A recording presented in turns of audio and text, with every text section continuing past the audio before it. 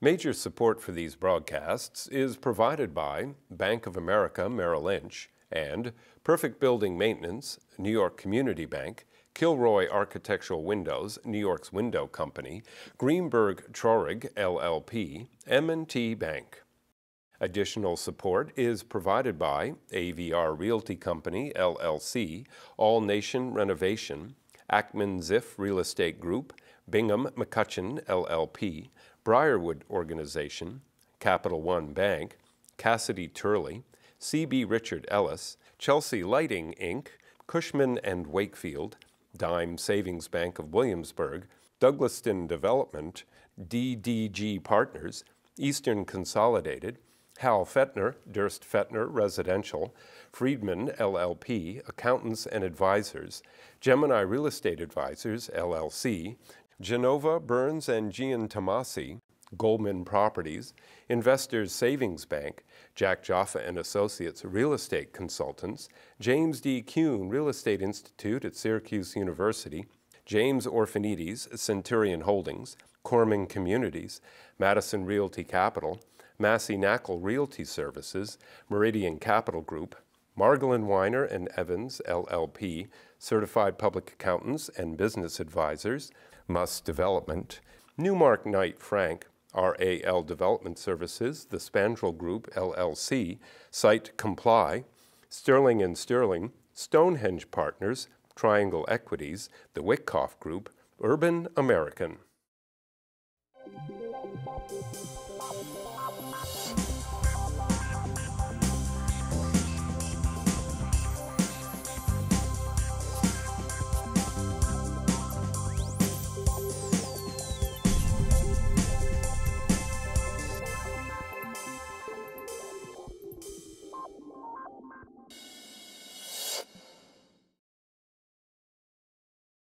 So there is this group of individuals, they're called private equity, and they are the players. They're the guys who are buying all the real estate in the country. So I've assembled the four of them, four of these prominent people to tell us what they like, what they don't like, where they're buying, and what they expect to see in 2012. My guests they include Steven Wolf, who's a partner at Area Property Partners, Russell Appell, who is the founding principal and president of the Praedium Group. Michael Boxer, who's the founding principal and managing partner, RCG Ramius, uh, RCG Longview.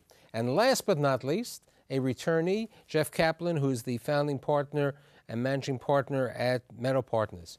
So, you know, you were an international player. You were buying all over the world.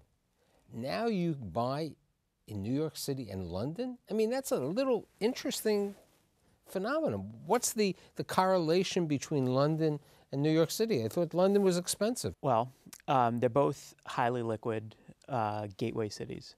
And that's really what we, I guess, starting in 2003, we really tried to scale back what was a global footprint in, I don't know, 30 states and 11 countries. We looked back at sort of what worked and what didn't work. And one of the big takeaways was when we went to tertiary and even secondary cities by investment liquidity, we tended not to get paid for the risk. So London and New York are on most international investors' radar screens. Um, they're also markets that tended to have higher leverage, more complicated financial structures, and therefore more distress today, which is really what we're focused on. Now, the interesting thing, Steve, is you had a large amount of properties in New York. And over the years, you very successfully sold 1290 of the Americas, some other properties. But you really haven't acquired recently in New York. Why not? Well, we've grown to be a global fund manager with $13 billion in equity and over $65 billion of committed transactions. So when you take your footprint and you go global, obviously you're investing elsewhere. In New York, we continue to look in New York, and it's obviously gotten very pricey recently. So we've gone to other cities in the States. Russell, where, I mean, you last year, I mean, over the last two years, you've really invested close to a billion dollars around the country, mm -hmm. but also in the local footprint. Well, you know, a little bit for us, there's a, a trade off, Jeff, between sort of liquidity and growth versus yield. Um, in New York, you've got to buy at lower yields, but you're betting on growth and liquidity. And so quite frankly, since 2008, we've been looking at risk a little differently. And where we can have more yield, we think there's a little less risk. So while I understand the focus, I understand the growth aspect, and certainly the 03 to 07 period, there was a lot of growth. But when we look at the current market, and we do do deals in New York, by the way, but we also do deals outside New York. But usually, what we're doing in terms of balancing a portfolio, our New York assets tend to look for a little more growth, little more liquidity, but often we're giving up yield. If we can buy a 14% cash on cash yield in a you know, non-gateway market and we can put good financing on that, you know, we've mitigated our risk to a certain extent. We'll prob- we may have less upside growth in the residual, but we're making a great current yield along the way. Now, Michael, over the last couple of years, I mean, going back in 2001, 2002, the last, I mean, you were very active in Enron's uh, office building. You had some other properties, and you know you've invested in 200 West 57th Street and a variety of others. Where where have you where are you active in the last two years, or, or let's say in, during 2011? Where have you where have you seen your investments? Well, post Lehman collapse in 2008, the vast majority of our investment activities have been in the debt space. Uh, we think that that proposes proposes the correct sort of risk reward proposition, if you will. Uh, for the equity guys, uh, not unlike the people sitting around uh, here today, uh, they're targeting returns either in the high teens or even you know 20 and low 20s. For those equity deals to work out the way they would like to expect, they need one, two, three, four, five uh, factors to all fall into place. And if each one of those factors fall into place, they hit their targeted returns. We're putting debt out to yield to ourselves and our investors 12, 13, 14%, which we think poses the right risk reward proposition because you have the equity buffer to protect you if things go wrong. So 12, 13, 14% with a 15 or 20% equity buffer or own the equity for a targeted 15, 16, 17% return, the debt space is where we want to be. Yeah, now the interesting situation is that you did put out debt in Harlem, and now you are, are basically loaning, you own the properties, right? What happened up in the Harlem on the Apex and the, the hotel and the other property on 125th Street? Right, you're talking about two separate properties. Right. I, the, uh, the, the, uh, the the Aloft Hotel on 124th Street and Frederick Douglass Boulevard was always done in our equity fund. Uh, we had uh, we were part of a partnership whereby the operating partner didn't really follow through on all of the things that they said they were going to do. So, with our internal property management, your construction your capability, we were no able question. to step in and take over the business plan. We executed on the construction ground up. We have a uh, uh, by all accounts, a successful hotel up and running today. Occupancy ADRs are looking pretty good. We have 44 apartments above. We're in the middle of the sales process there, and surprisingly, uh, sort of good sales. I think there. you're over 45% sold. That's correct. On some of the statistics. Um, on 125th Street, uh, around the corner and a little bit further east, uh, we had made a land loan to a developer who was going to build uh, a hotel, a, a hotel extravaganza, and uh, their their plans had fallen through. What with the downturn, we took over the property uh, as a deed in lieu, and we are in the process of finalizing our development plans. It's going to have a, a, a, very good uh, and attractive retail, retail, component. We're talking to a number of national retailers uh, right now to take over that space. Now, Jeff, you you've been in the you've been looking to buy debt, right? Uh, over the last couple years. I mean, that's most of what you've been doing. It's part of what we've been doing. We're really doing two things. I think the the first and foremost is recapitalizations and restructuring. So, uh, for example, a borrower who's got an opportunity to pay down his debt at a discount or to take a lender out, um, and we're putting up the equity typically behind an existing borrower in a you know in a fixed position, if you will, um, to recap a, a fundamentally sound property that's stuck in a distressed capital stack or ownership situation. And then we've also, along the way, just done an outright, uh, in three instances now, outright purchases of distressed debt, non-performing loan on a loan-to-own basis, which we've gone ahead and, and foreclosed on. That's the one in Queens. That the one in Queens is the most recent example. Um, was a, built as a condo, um, 90% complete. Um, we bought it from a major money center bank that was, it was about a year into the foreclosure. Um, and we're in the process of, uh, you know, negotiating with the borrower to, to take the keys back. Steve, I know, I think you've done that in Florida, right? And certain states around the country, you've bought some debt. Oh, absolutely. Uh, on the residential side, we were one of the first groups to step in, specifically in Miami, and buy debt uh, from a well-known lender on a failed condo. But our strategy wasn't to step in and to sell condos, but to go residential and rental. And um, in one specific case in Miami, uh, it's just amazing the rental growth we've seen from that transition once we've taken over the real estate, turned it, stepped in, finished the construction, and went rental. We, uh, on that particular project, were 50% ahead of time. More importantly, 15% ahead of where we thought rental growth would be. And so it's been effective for us. Um, that's primarily our debt purchases have been on the residential side. Russ? Yeah, I was going to say it's a it's clearly a big part of uh, our acquisition strategy right now. I mean, everyone talks about off-market deals, and really the way to buy off-market deals today is either, as Jeff mentioned, to buy the debt, usually because the sellers are, you know, you're not buying the asset directly. There's kind of a few steps you have to go through, and quite frankly, you may never get the collateral. I mean, a real good workout investor is going to look at alternative strategies besides owning the real estate, restructuring, maybe getting a payoff from the borrower, et cetera, but having a flexible mindset uh, going in. But again, there's a real investment thesis usually with those deals, or recapitalizations, which is another significant part of, uh, of our investment strategy. And obviously, when a borrower works with the bank or with some other third party partner, to buy them out, that again is an off-market transaction, and so you don't have sort of that competitive bidding frenzy. I mean, here's a question: Do you see, you know, there was this discussion. You know, we were talking about the DLA Piper event, and there was a discussion saying now that the Anglo-Irish deal took place and Bank of America sold some their paper, you'll see more banks selling more debt over the next uh, 2012. Do you agree with that?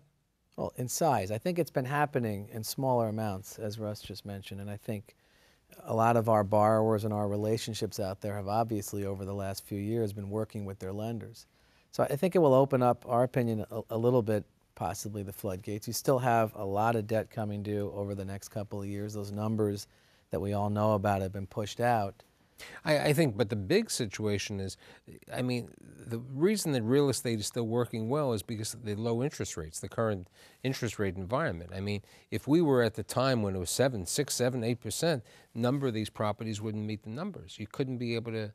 Most of the properties. That's correct. Most of the properties would not be able to. If you look at hotel loans, and you look at look at a lot of hotel loans were done, should have been done. They're done on floating rate. Uh, obviously. Uh, most borrowers of hotels ebb and flow with the economy and stick with floating rate. Today, they're paying 1%, in some cases 1.5%, and they're, they're alive.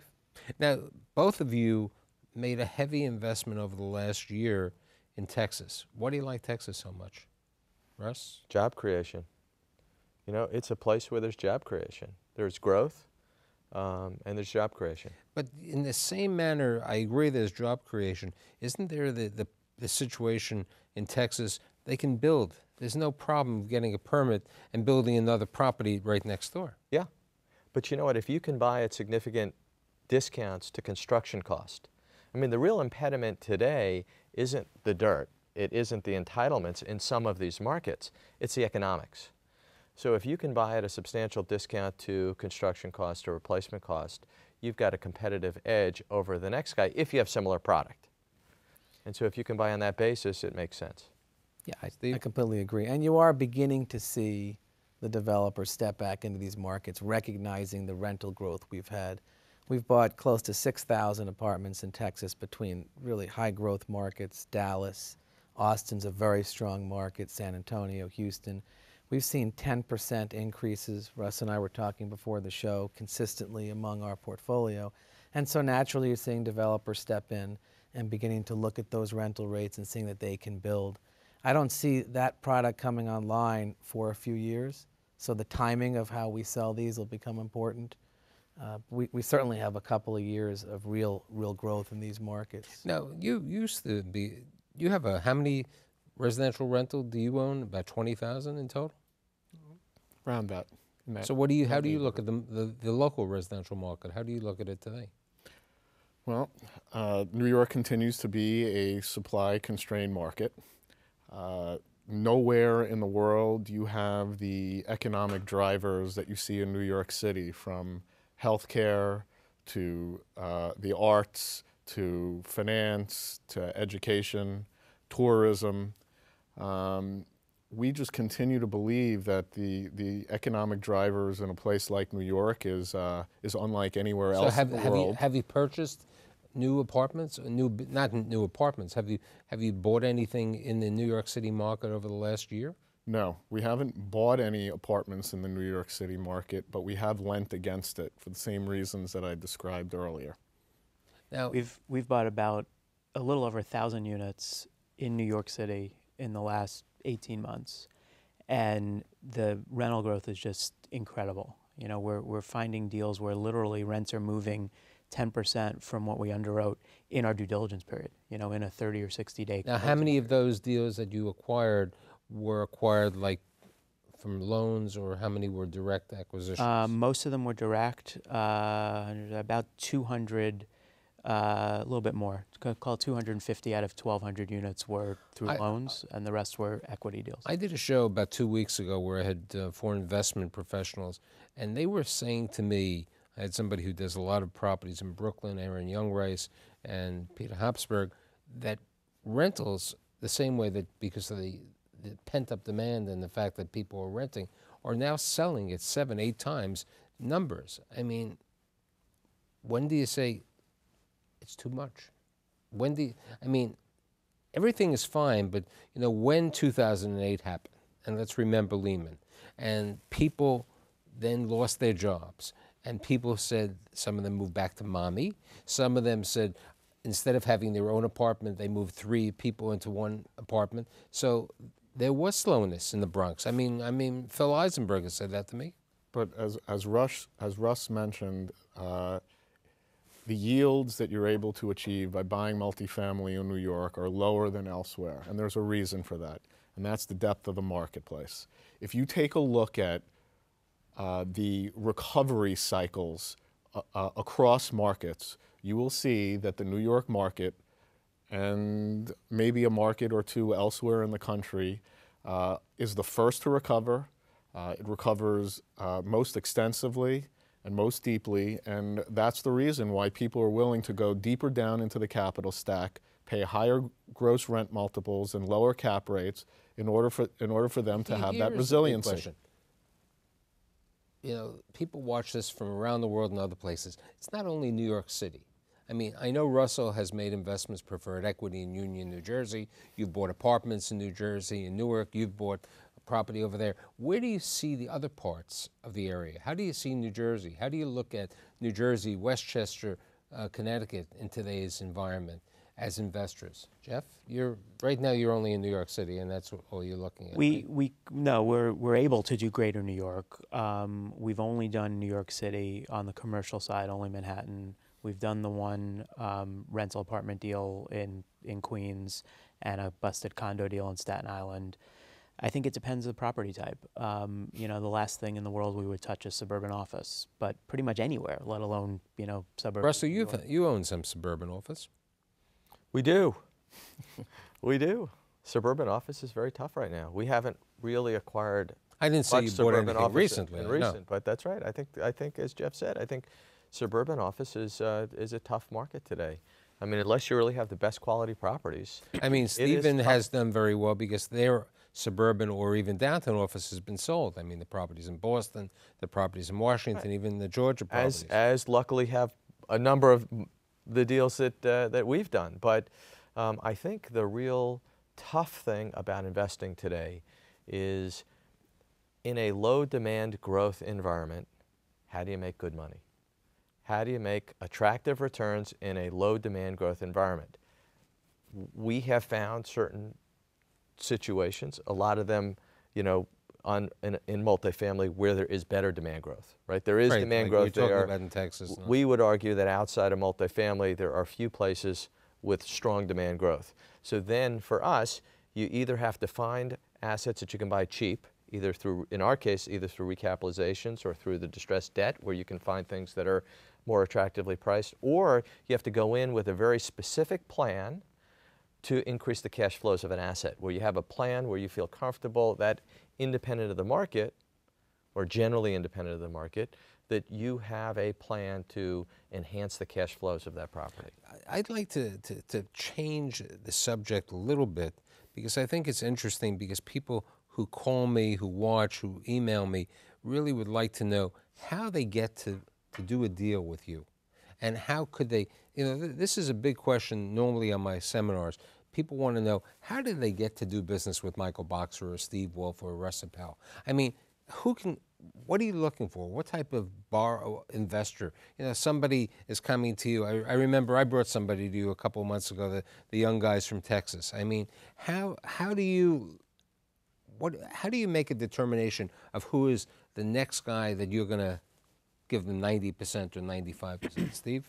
Sure. Well, for, for us, um, it's all about relationships. You know, my partners and I, we, we the- firm has been around since 1993. At uh, 26 years in the business, I'm you know, Bill Mack is still 15 years more, and maybe 20 years more, and Lee 10 years. Uh, and and uh, so certainly you get a lot of repeat business. We have But how about a new person? That's what I'm talking well, I'm, I'm going to tell you. So if you look at where we spent our, our money recently, we've bought 15,000 apartments and over 8 million square feet of industrial. And on the industrial, 5 million square feet of that was off market transactions, where we sat down with groups that were looking to recap existing equity partners. And um, it's, uh, it's as simple as picking up a telephone, but it's as, as, as deep as the relationships I just talked about. You've been doing it for 26 years. When you've put out $13 billion of equity and $65 billion of transactions, you've, you have your footprint and you have the relationship. Russell? Yeah, I- would say we have a slightly different view because uh, for us, first of all, people have to be honest, decent people. And that's something we do. We do a background check on new partners. Um, but I think for us, we are very into the business plan for a specific asset and what is required to execute the plan and what are the risks if we have the partner that doesn't have those capabilities and those skills to if they don't execute have, that besides the plan. skills and the cash backup in case there's a problem later on for the, the development. You know, if they don't have the deep pockets or any pocket. Well, I was going to say they have to have a certain level of deep pockets, but clearly part of why You're- you're the us deep is pocket, the deep pocket. But we definitely want people that can show the skills to execute the plan and that have the experience that if the market changes, that they can help adapt to those changes, right? If the market changes, you can't always blame the partner if they're still doing as well as the market. But going in, if it's a deal that has to get leased up, you want someone that has strong leasing capabilities. In certain markets, there are certain tenants that are very strong in a market. You may want somebody that has a relationship with that tenant. Um, in certain markets, there's more of a renovation or a stylistic thing. You want someone that could complete those renovations and is good at that. A bunch of the deals that we've been involved with recently, there's a, a significant construction, rehab, right, we were talking about the AV, which Okay. had a very fancy- Something like that. You want somebody that has those capabilities. So what we we'll, we'll look at is what is the business plan for that investment, and do we have a partner that can execute well in that plan? And if the market changes, do they have enough resources, experience, et cetera? Now they have to have enough resources. And you went saw in 08, 09, a bunch of real estate operator developers didn't make it through. And I if- think I think Michael just alluded to that uh, they- basically in those two deals in Harlem. And, and I think most of us, one of the lessons learned of the kind of 08, 09 period is to focus on, you know, who you're doing business with. and do, uh, that do they have the those- comments that I made about capabilities that- Michael's investment that they weren't bad investments, but you know what? The world changed, and that was really the circumstance. Everybody wanted to do hotels in Harlem. When I was with Apollo, we liked the property on 125th Street. It was just we felt that the borrower, who we had met, was a tough guy. Listen, you make a loan, you, you make it to own it if you have to own it. There's no, it's, a, it's just like you said before, it's cheaper than essentially than doing it a- an equity the first time. Right, but that's not our business plan. Uh, we, we make a loan with the expectation that we're going to earn an acceptable rate of return and then get paid back. My take on uh, who do we do business with is slightly different, slightly different than Stevens and Russ's. That's why you're here. I try to take a step back and I try to imagine what it would be like to deal with this person when things go sideways. Everybody gets along swimmingly when things are going great, but when you hit a bump in the road and the unexpected rears its head, is this somebody I am going to be able to sit down with, look them in the eye, and despite what all the documents say and all the protections built into the structure, is this somebody who I am going to be able to reach a reasonable conclusion with? So, who am I getting into bed with? Operational expertise, definitely a high second on the list. And third, alignment of interests, i.e., how much cash are they bringing to the table? Jeff. Uh, We do one thing that I think is a little bit different than, than everybody else here in the sense that we do deals both directly ourselves and also with operating partners. Um, you know, in terms of looking at operating, we'll, we'll look at anything. Um, who's qualified? It's everything that's already been said. Um, I've found over time that the vast majority of deals we're doing are with relationships. It's hard to kind of break in the door, um, not because we're not looking, we'll look at anything. We'll return calls, we'll look at emails, it's easy to do.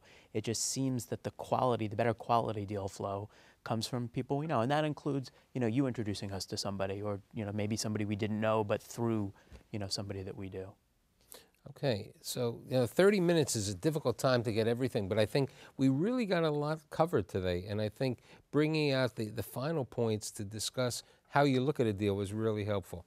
Uh, I'd like to thank Steve Wolf, Russell Appell, Michael Boxer, and last but not least, Jeff Kaplan. See you next week.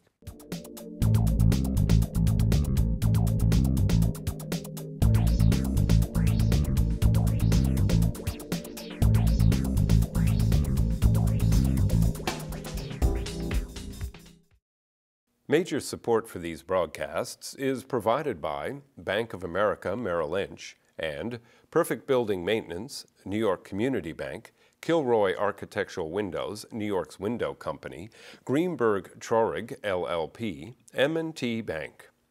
Additional support is provided by AVR Realty Company, LLC, All Nation Renovation, Ackman Ziff Real Estate Group, Bingham McCutchen, LLP, Briarwood Organization, Capital One Bank, Cassidy Turley, CB Richard Ellis, Chelsea Lighting, Inc., Cushman and Wakefield, Dime Savings Bank of Williamsburg, Douglaston Development, DDG Partners, Eastern Consolidated, Hal Fetner, Durst Fetner Residential, Friedman LLP, Accountants and Advisors, Gemini Real Estate Advisors LLC, Genova Burns and Giantomasi, Goldman Properties, Investors Savings Bank, Jack Jaffa and Associates Real Estate Consultants, James D. Kuhn Real Estate Institute at Syracuse University, James Orphanides Centurion Holdings, Korman Communities, Madison Realty Capital, Massey Knakal Realty Services, Meridian Capital Group, Margolin Weiner and Evans LLP, Certified Public Accountants and Business Advisors, Muss Development, Newmark Knight Frank, RAL Development Services, the Spandrel Group LLC, SiteCompli, Sterling and Sterling, Stonehenge Partners, Triangle Equities, the Wyckoff Group, Urban American.